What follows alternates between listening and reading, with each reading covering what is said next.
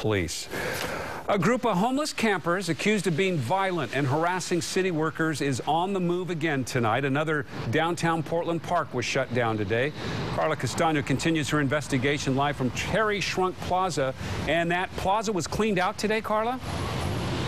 Yeah, the plaza has been closed down all day long. And as you can see, federal police have been out here all day long as well, making sure that the campers don't try to get across the crime tape.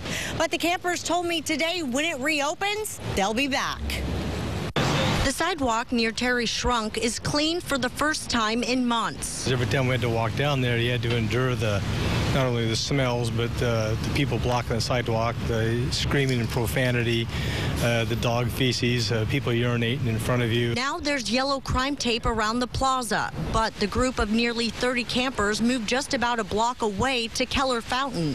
They tried to pitch their tents today, but Portland Park Rangers were able to peacefully convince them not to.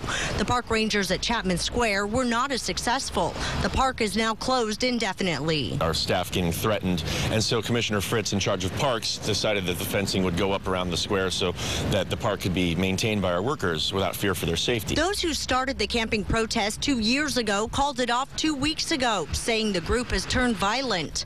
Four homeless campers were arrested overnight Monday after a confrontation with officers at Terry Schrunk. The disturbance began when a group of campers began setting up tents on the sidewalk after being asked to leave. One is accused of swinging a chain at an officer, another of throwing a punch. But a camper today told us their new message is love. Still, he admits getting everyone to cooperate is tough. Most of these people are social castaways.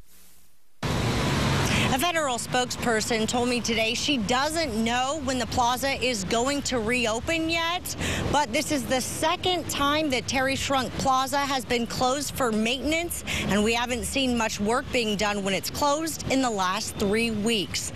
Live in downtown Portland, Carla Castano, KOIN 6 News. Thank you, Carla.